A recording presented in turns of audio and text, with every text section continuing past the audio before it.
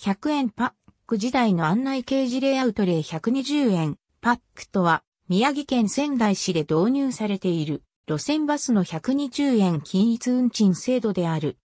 1999年に仙台市が策定したアクセス30分構想推進計画にのっとり、2002年に都心部の利便性向上と渋滞緩和を目的に、仙台市交通局、宮城交通が共同し、路線バスの100円均一運賃制度として100円パックを導入。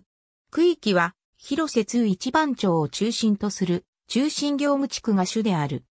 100円パックとは別に地下鉄東西線開業に合わせ、八木山動物公園駅、薬師堂駅、荒井駅の3駅周辺についても100円均一の運賃体系が導入されている。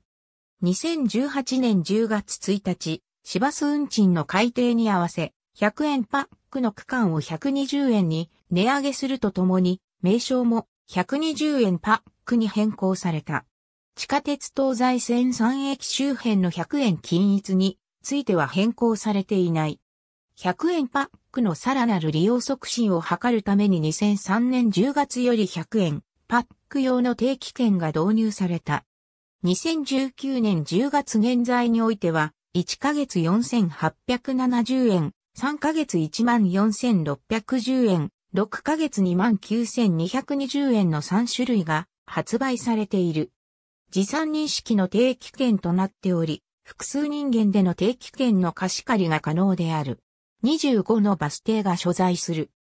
仙台駅前を奇襲点とする循環系統に乗車し、乗車経路に120円パックの区域外の停留所を含む場合は、以下の停留所のみで乗車、降車した場合であっても120円パックは適用されない。2018年4月1日現在かつてのバス停。ありがとうございます。